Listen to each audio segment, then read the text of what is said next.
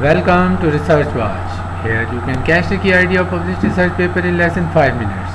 I hope it will help you to select the paper for your further reading, knowledge or research purposes.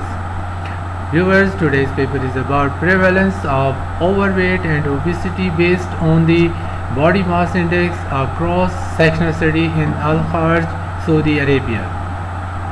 Samir Al-Ghamdi is the lead author. Viewers, the aim of the study was to evaluate the prevalence of overweight and obesity among general population in Al-Kharj, Saudi Arabia.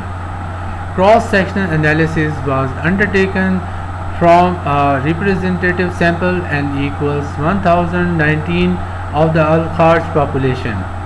Anthropometric measurements including the waist circumference in centimeters, height in meters and weight in kilograms of the subjects were undertaken by means of standard apparatuses. SPSS 24.0 was utilized for statistical analysis of the data. The results of the study showed that majority of respondents in this study were overweight and obese 54.3% compared with 45.7% being non-obese. A linear positive association of increasing BMI with older age groups was present in males and females. Men had greater waist circumference, weight and height measures as compared with their female counterparts.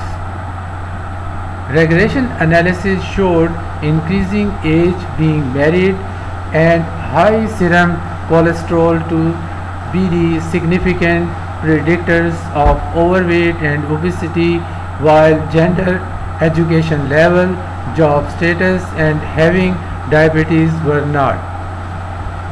The authors concluded that the obesity overweight prevalence in Saudi population is the high mainly across both genders. However, the associated factors are potentially pre preventable and modifiable. The regional barriers to lifestyle modifications and interventions to encourage active lifestyle especially among adolescents to limit the occurrence of obesity and ultimately promote health and well-being are warranted. Furthermore, positive studies are needed in further to confirm the etiological nature of such associations. Viewers, this article was published in the Journal of Lipids in Health and Disease in June 2018. Viewers, I hope you found this video useful. I would really appreciate your feedback. Please don't forget to subscribe and follow the channel. Thank you.